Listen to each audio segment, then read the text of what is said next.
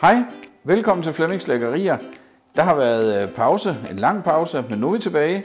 Og det skal vi selvfølgelig fejre med en fødselsdagskringle i Super Deluxe Edition. Altså det bliver bare ikke bedre, end det kringle, vi skal bage i dag. Forhåbentlig. Det vi skal bruge, ja, det kommer jo til at stå i den rulletekst, der kører en af de her veje nedenunder øh, billedet her. Og det står også i kommentarfeltet nedenunder videoen. Men ellers så øh, kan jeg da lige hurtigt sige, at der er 1 kilo hvedemel, som jeg har vejet af her. Og, øh, og 60 gram gær. Og det starter man simpelthen med at smuldre gæret ned i det her mel. Jeg har vasket fingre. I går. Vi smuldrer det så godt vi kan. Og så tager man lige ned i melet og smuldrer de store klumper gær, der nu drættet ned her. Men ellers så vil de også blive fordelt godt øh, under æltning.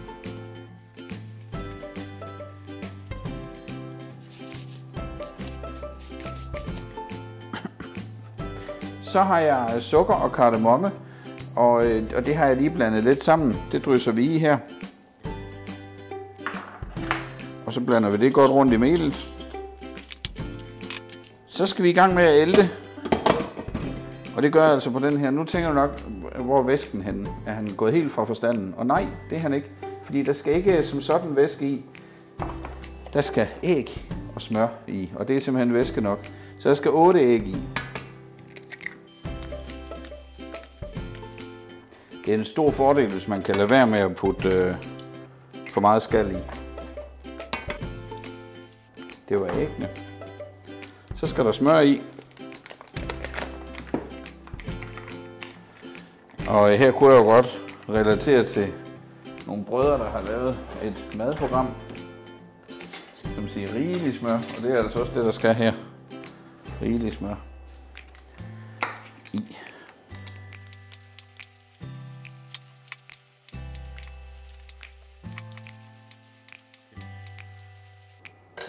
Sådan. Så skal den i gang med at ælte. Og nu sidder du måske og tænker, hey Flemming, du har glemt at putte salt i. Og nej, det har jeg ikke. Fordi når der er så meget smør i, som der er her, så er der også rigtig meget salt fra smøret, og det skulle faktisk være nok. Så det satser vi på der. Nu går den i gang med at ælte her.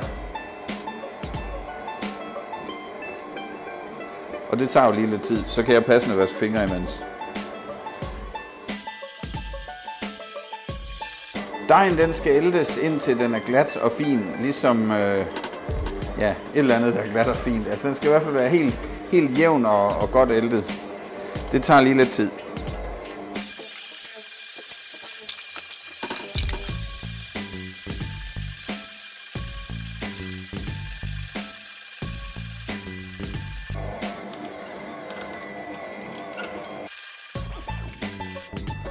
Nu hjælper vi den lige lidt på vej, fordi der er noget, noget mel i bunden hernede, kan jeg se, som ikke kommer med rundt.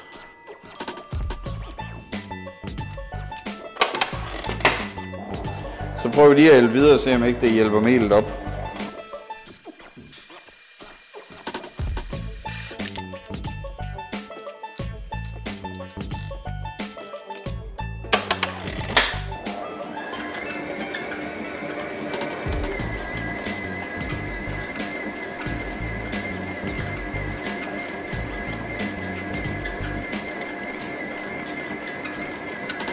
Nu kan man lige vurdere undervejs, fordi der er jo forskel på æg, ligesom der er forskel på høns. Og derfor så har de her æg nok været lidt store i forhold til min opskrift. Så vi putter lige en lille smule mere mel i.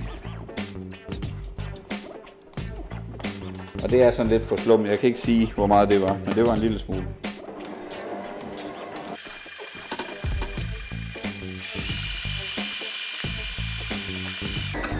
Får lige en lille smule mere mel i nu.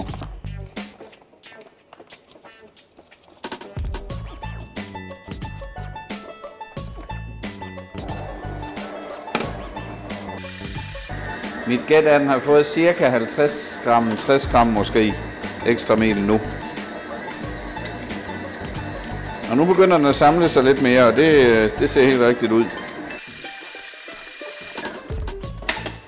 Så tager vi øh, det, der bliver til en dej, fordi jeg tror, at det sidste, det giver sig selv, når den hæver, at så sætter det sig og bliver til at arbejde med. Tager vi lige ud på bordet her. Giver den en tur med dejskraberen.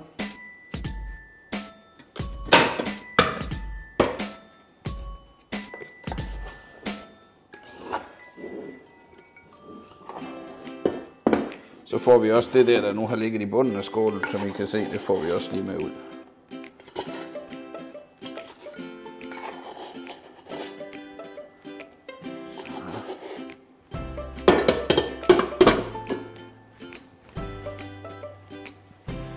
er det, selvom den ser meget fugtig ud, dejen, så er det altså til at arbejde med, som I kan se.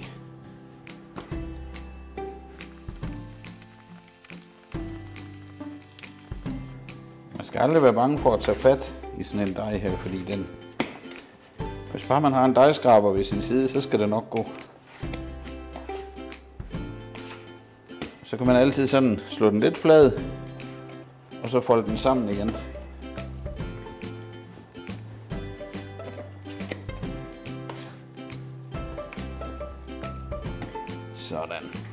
Så har vi en glat og god dej, og den bliver lagt herover. Jeg har ikke smurt skålen, fordi der er så meget smør i den dej her. Nu skal den stå hæve til cirka dobbelt størrelse. Så det vil sige cirka til den fylder skålen her. Lige om lidt skal vi lave remons. Så er vi tilbage, hvor vi skal i gang med at lave noget af det allervigtigste ved sådan en kringle, nemlig fyldet, og det er jo remons, som det hedder. Og det består af smør. Her der har jeg øh, afvejet smør i, og der skal 150 gram smør. Men jeg laver jo dobbelt portion, så vi får fire kringler i alt. Ikke? Men altså 150 gram smør skal du putte i. Og så er der 75 gram farin, der jo så også er fordoblet her. Og så skal vi også have 75 gram sukker.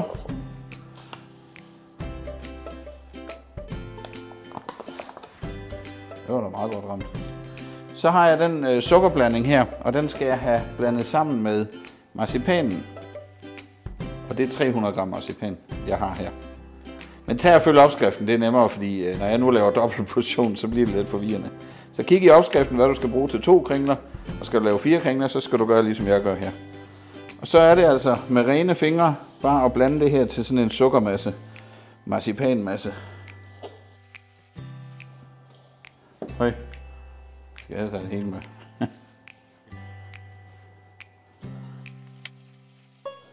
så det hælder vi så heroppe i sammen med smør.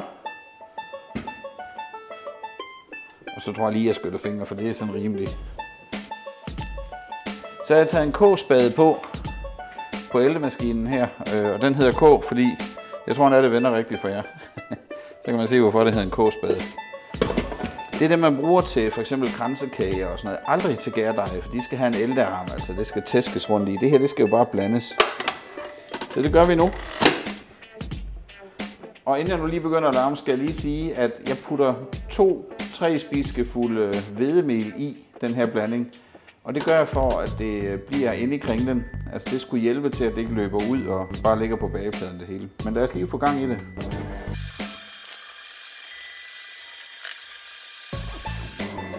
Og nu ved jeg ikke, hvor meget man kan høre af det, jeg siger nu, men øh, jeg kan da lige fortælle imens, at de rosiner, der skal i nogle af kringlerne, det er rosiner, der har ligget i blød i rom. Det har de i et døgns tid, og jeg kan godt fortælle jer, at, øh, at man kunne godt have lyst til lige at snuppe sådan en rosin Men det gør jeg selvfølgelig ikke, det er jo et seriøst program det her. Øh, men de skal drænes, øh, og så skal de drysses over remonsen. Det skal jeg nok vise senere. Men det er altså kreds det her. Det, det er dejligt. Nu skal vi lige have noget smæk på her, så nu kommer nok til at larme.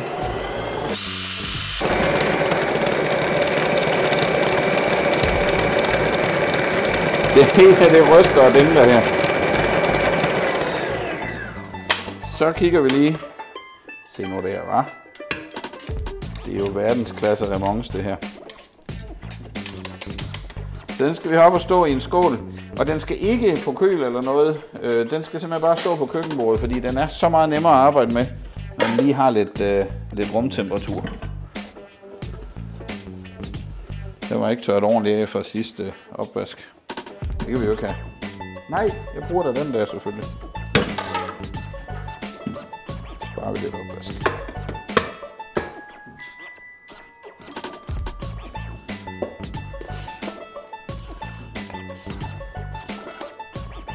Hvis man føler for det, øh, og man ikke har rosiner i, så kan man putte en lille smule kanel i. Det putter man heller ikke i remoncen, det drysser man oven på remoncen. Det gjorde min far i det gamle bageri i hvert fald.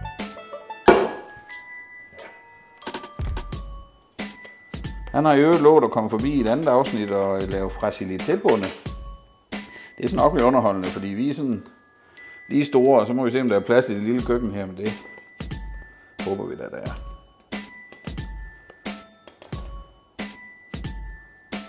Det er gode sager, det her. Remons. Og det er altså det, der gør den så lækker, den her kringle. Så, den putter jeg lige noget øh, folie over, sølvpapir, som vi kalder det hernede. Det ved jeg ikke, om det hedder i hele landet. Men i hvert fald så kommer det på her, og så, øh, og så er vi tilbage igen, når vi skal til at rulle kringle ud. Så er vi tilbage. Der er gået øh, faktisk et par timer, har den taget om at hæve op. Det havde jeg ikke forventet, men det har den altså gjort. Øh, dejen her, og det, den ser rigtig, rigtig fin ud. Den er blød og lækker, som den skal være. Og lige klar til at rulle ud. Men jeg vil lige vise jer det her først. Skal jeg lige have lov af. Det er de drænede rosiner. Og de øh, dufter altså fantastisk godt af rom, og det er fordi, de har ligget i rom. Sådan er det. Og dem, øh, dem bruger vi til at drysse ud over de to af de fire kringler, som, øh, som skal laves i dag. Men vi skal lige have vejet den her op i fire klatter. Klumper, om du vil. Man kunne også bare dele den op i fire så nogenlunde lige store stykker, og så sige, det var det. Men øh, det gør vi selvfølgelig ikke. Vi er lidt mere nøjeregnende, og den skal jo så ikke stille i vasken. Det er jo den, vi skal bruge til at veje i. Så nu laver vi lige sådan et par fold her, så den lige bliver på en måde æltet igen.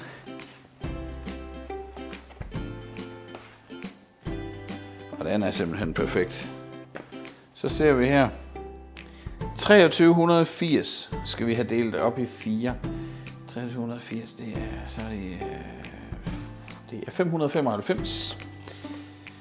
Yes. Så prøver vi at se, om vi kan ramme det. På tæt på der. Det var endnu tættere på. Endnu.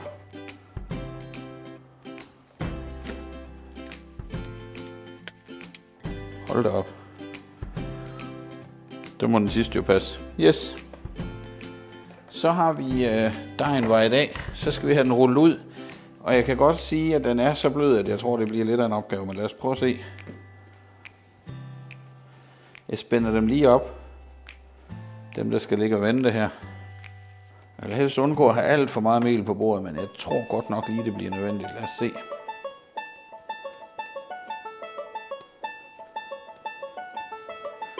Tager lige lidt mel. Og det jeg så skal nu, det er at have rullet dem her ud til hver en kringle. Og det bliver spændende. Altså ikke sådan wow, men mere sådan what?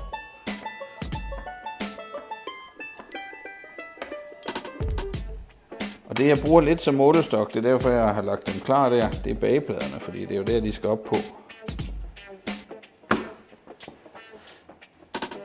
Det er jo ikke noget at stå og lave en kringle her, der så ikke kan ligge på bagepladen. Det er noget skræmmel.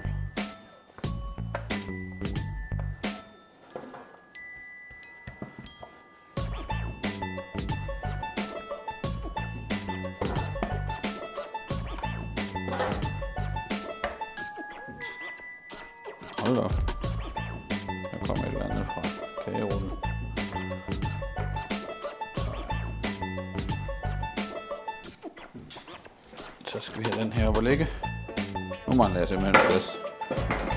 Lad os se, om ikke det går.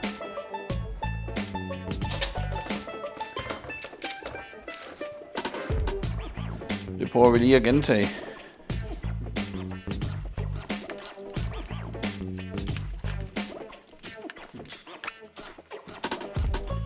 Se. Og dem skal vi så have remonce i. Og det kan vi lige så godt gøre med det samme, for de skal jo stå og hvile i 20 minutter. Jeg bager kun et hold ad gangen, så derfor så er det jo en god idé at gøre det indhold færdigt. Og det er så her, man ikke må være for fedtet.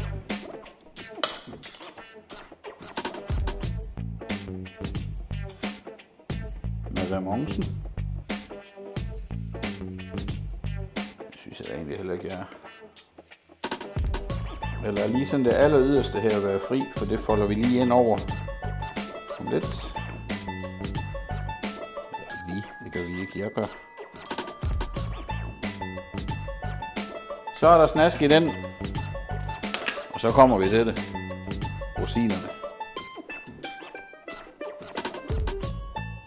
Hvis man ikke kan lide det, så kan man lade være at putte det i. Det gør jeg i de to sidste, fordi der er nogen her i huset, der ikke så godt kan lide det. Nu har de ligget i Rom, så kunne man jo også tage, tage resten med ind og se aften-tv.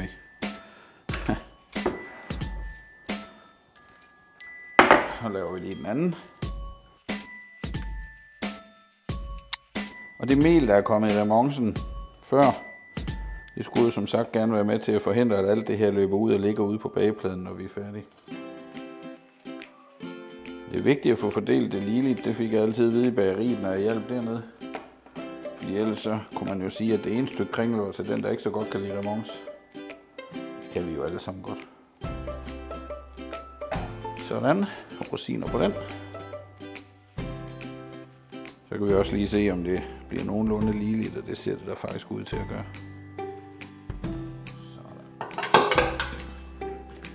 Så skal vi så til det sjove. Og det som jeg ikke er verdensmester i, men lad os se om ikke det går alligevel. Vi folder lige enderne lidt ind over her. Trykker lidt. Og løfter dejen ind over os. Og den er så smidig, så man kan godt trække lidt i den.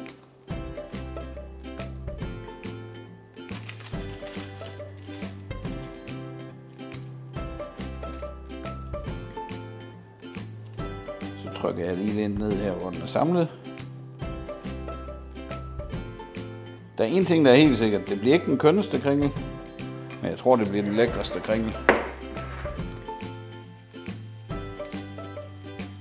Nu kunne man jo vente den om, så samlingen vender nedad, så man får sådan en rigtig fin. Men det synes jeg faktisk ikke, den skal.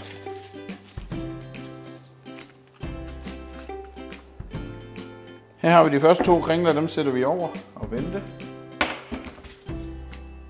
Og så er det sådan til bare at gentage succesen. Bare uden rosiner. Nu har kringlerne herovre bagved øh, hævet i ja, en lille halv time, altså efterhævet. Så nu skal vi have, have en pensel. Over bagved kan man se, at jeg har tændt ovnen på 215 grader.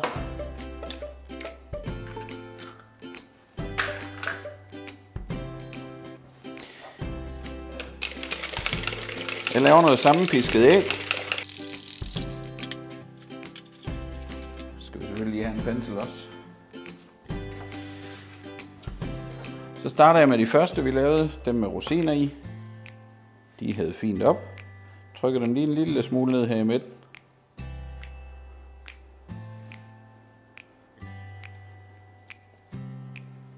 Og så er det ellers bare at give noget æg.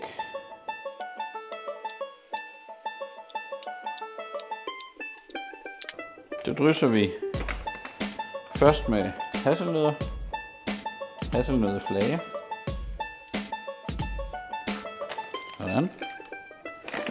Og med sukker. Simpelthen. Så skal de i ovnen. I på midterste rille.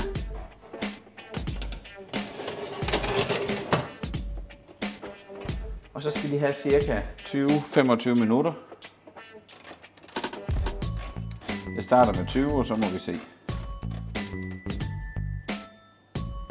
Det er da nemt. Så har ovnen lige bippet, og øh, vi kigger til kalorierne her. Og de ser fine ud. Præcis ligesom de andre, jeg tog ud før.